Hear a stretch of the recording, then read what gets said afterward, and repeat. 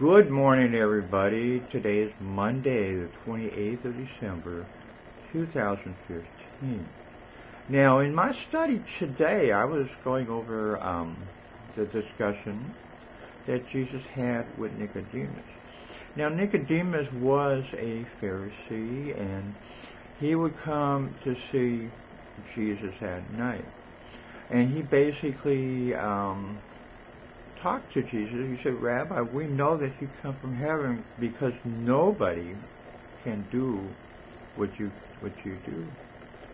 Jesus came back and said, "Well, nobody can nobody can uh, be uh, saved. I mean, you know, people have to be saved unless they're reborn." This troubled Nicodemus. He did not understand it. He was a teacher. He was a scholar. He tried to figure this out.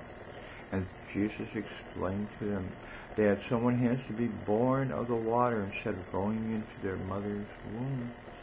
And when they're born and they accept the Holy Spirit into their lives, they are saved.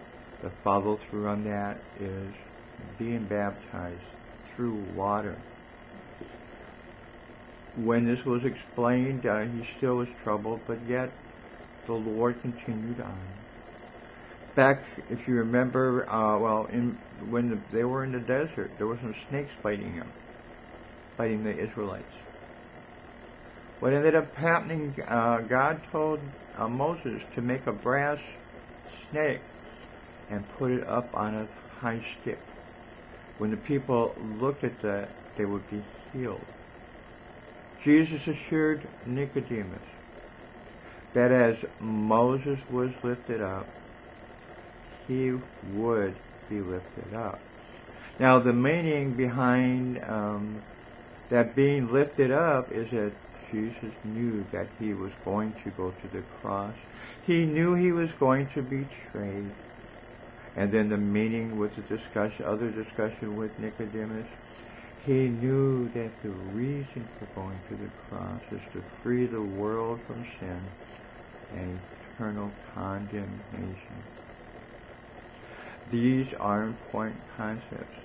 If you wish to be saved, you can be reborn. The birth of Jesus was just a couple days ago. And that's what it represents. The Son of God coming down to free all of us from sin. So thank you for watching this and have a blessed Monday. And thank you for observing and viewing this two minutes with PJ.